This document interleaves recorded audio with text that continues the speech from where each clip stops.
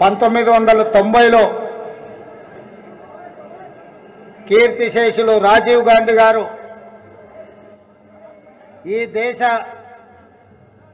సమైక్యత సమగ్రత కోసం కులాలు మతాలు ప్రాంతాలకు అతీతంగా కలిసి ఉండి ప్రపంచ దేశాల ముందు మన ప్రతిష్టను పెంచడానికి సద్భావన యాత్ర పేరుతో ఈ చార్మినార్ దగ్గర బడుగు బలహీన దళిత గిరిజన మైనారిటీ వర్గాలను అందరినీ కలుపుకొని ప్రజలందరూ కలిసి ఉండేట్టుగా కార్యక్రమాన్ని తీసుకొని ఈ ప్రాంతాన్ని రాజీవ్ గాంధీ గారు పునీతం చేసి ముప్పై ఒక్క సంవత్సరాల తర్వాత ఈరోజు ఈ కార్యక్రమానికి పెద్దలు వీరప్ప మొయిలి గారు రాజీవ్ గాంధీ గారి స్ఫూర్తిని తీసుకొని ముఖ్య అతిథులుగా ఈ కార్యక్రమానికి విచ్చేసింది. అదేవిధంగా వేదిక మీద మాజీ పిసిసి అధ్యక్షులు ఉత్తమ్ కుమార్ రెడ్డి గారు వి హనుమంతరావు గారు పొన్నాల లక్ష్మయ్య గారు మన రాష్ట్ర ఇన్ఛార్జ్ సెక్ర జనరల్ సెక్రటరీ పార్లమెంట్ సభ్యులు Manik Tagore garu Boseraju garu Vamshi Chandreddy garu campaign committee chairman Madhu Yaskhi garu working president Geeta Reddy గారు ఆంధ్రప్రదేశ్ పిసిసి అధ్యక్షుడు మిత్రుడు శైలజనాథ్ గారు చాలామంది పెద్దలు ఈరోజు ఈ వేదిక మీద ఉన్నారు. చాలామంది మహాత్మా గాంధీ ఇందిరాగాంధీ రాజీవ్ గాంధీ అభిమానులు ఇక్కడికి చాలామంది వచ్చేసారు. మిత్రులారా ఈ దేశం వందల కులాలు చాలా మతాలు చాలా ప్రాంతాలతో కూడుకున్న వసుదైక కుటుంబం. కులాలకు మతాలకు ప్రాంతాలకు అతీతంగా ఒక వసుదైక కుటుంబంగా ఈ దేశం సమైక్యంగా ఉండాలి.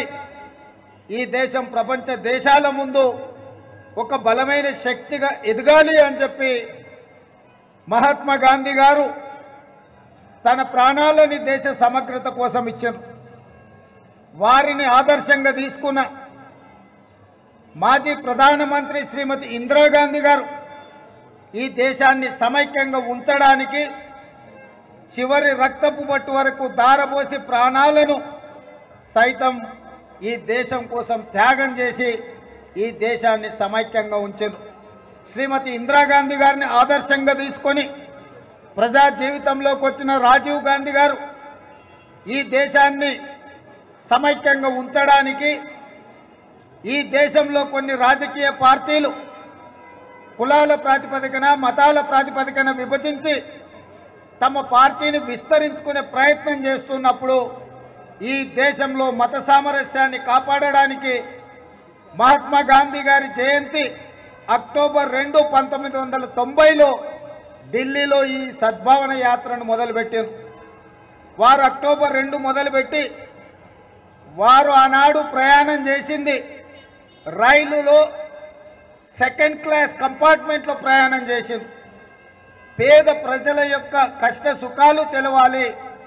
ఈ దేశంలో ఉండే భిన్న వర్గాలను కలవాలి అని చెప్పి వారు రైలు ప్రయాణం రెండవ తరగతి రైలు ప్రయాణం చేసి అక్టోబర్ పంతొమ్మిది హైదరాబాద్కు చేరుకున్నారు.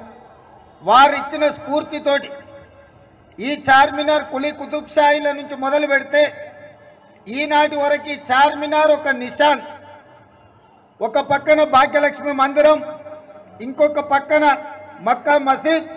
హిందూ ముస్లింలు ఈ దేశానికి రెండు కళ్ళు ఈ దేశ స్వాతంత్రంలో హిందువులు ముస్లింలు వేలాది మంది లక్షలాది మంది అసూలు బాస్తే ఈ దేశానికి స్వాతంత్రం వచ్చింది.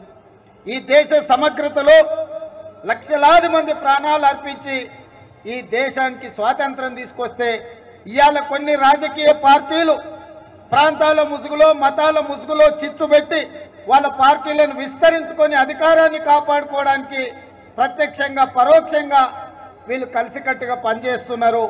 ఇవాళ ఇలాంటి కుట్రలను కుతంత్రాలను తిప్పికొట్టాల్సిన సందర్భం ఈ సందర్భంగా మనల్నందరినీ ఇన్స్పైర్ చేయడానికి మనల్నందరికీ ఒక దశ దిశ నిర్దేశాన్ని ఇవ్వడానికి పెద్దలు వీరప్ప మొయిలి గారు ఇక్కడికి ముఖ్య అతిథులుగా రావాల్సి వచ్చింది. వారి గురించి రెండు మాటల్లో చెప్పాలి అంటే మోస్ట్ బ్యాక్వర్డ్ కాస్ట్ నుంచి రిప్రజెంట్ చేసిన ఒక ఇంటలెక్చువల్ పర్సనాలిటీ ఈ దేశానికి నాయకత్వం ఇచ్చిండు వారు కర్ణాటక చీఫ్ మినిస్టర్గా సెంట్రల్ మినిస్టర్గా పనిచేసిండ్రు. మొట్టమొదట ఈ దేశంలో మైనార్టీల యొక్క వెనుకబాటుతనాన్ని గుర్తించి మైనారిటీలకు రిజర్వేషన్ కల్పించి మైనారిటీల జీవితాలలో వెలుగును తీసుకొచ్చింది మొత్తం భారతదేశంలో మొట్టమొదటి ముఖ్యమంత్రి. అలాంటి మైనారిటీల అభ్యున్నతి కోసం పనిచేసిన వీరప్ప మొయిల్ గారు ఈరోజు చార్మినార్ వేదిక మీద నుంచి మిలాదున్నబీ సందర్భంగా మా ముస్లిం సోదరులకందరికీ శుభాకాంక్షలు చెప్పడానికి వారు ఇక్కడికి విచ్చేసిండ్రు. వారిని మనస్ఫూర్తిగా అభినందిస్తున్నా. ఈరోజు ఈ దేశంలో మైనార్టీలకు రిజర్వేషన్లు ఇచ్చింది. సచార్ కమిటీ ద్వారా మైనార్టీల వెనుకబాటు తనాన్ని గుర్తించింది కాంగ్రెస్ పార్టీ. మైనార్టీలకు రిజర్వేషన్లు ఇవ్వడంలో మహమ్మద్ అలీ షబీర్ గారు గులాం నబీ ఆజాద్ గారు డాక్టర్ వైఎస్ రాజశేఖర రెడ్డి గారు శ్రీమతి సోనియా గాంధీ నాయకత్వంలో నాలుగు పర్సెంట్ రిజర్వేషన్ ఇవ్వడంతో ఈరోజు వేలాది మంది మైనారిటీ విద్యార్థులు డాక్టర్లు లాయర్లు ఇంజనీర్లు ఐఏఎస్లు ఐపీఎస్లు అవుతున్నారంటే ఆనాటి కాంగ్రెస్ పార్టీ కృషి ఉన్నది కాబట్టి भाई बहनों मैं आज एक ही गुजारिश करना चाहता हूं ये हिंदुस्तान हिंदू मुसलमान सब मिलकर इकट्ठा रहे तो ही मजबूत रहेगा ये देश को इकट्ठा रहने के करने के लिए इकट्ठा रहकर हिंदू पूरा दुनिया में था करके देश राष्ट्र बनना बोले तो हम लोग सबके, हम लोग सब जोड़कर लड़ना है। ये देश को तोड़ने के लिए कुछ पार्टियाँ मत मज़हब के नाम पे तोड़ने के लिए कोशिश कर रहे हैं। ऐसे लोगों को दूर रखना है। ये देश, अगर ये देश इकट्ठे रहना, हिंदू, मुसलमान मिलकर जुलकर ये देश को आगे ले जाना है तो कांग्रेस पार्टी सत्ता में आना है। जब जब कांग्रेस पार्टी में सत्ता में है, तब तब हिंदू मुसलमानों का तरक्की हुआ। आज भी यहाँ पर आप लोग देखे, कुछ दिनों पहले भाग्य लक्ष्मी मंदिर से कुछ पार्टी यहाँ से जलसा निकले। उन लोगों को कहीं पर मंदिर नहीं मिला क्या? यहाँ ही से निकाले। जिस दिन शुक्रवार था, उस दिन कुछ पार्टियाँ यहाँ से ये निकाले, ये रास्ता ने ये रैली निकाले। इसीलिए हम लोग हिंदू मुसलमान से एक ही गुजारिश है, हम लोग सब मिलकर रहेंगे, हिंदुस्तान को आगे ले जाने के लिए कोशिश करेंगे। शुक्रिया, धन्यवाद। जय हिंद।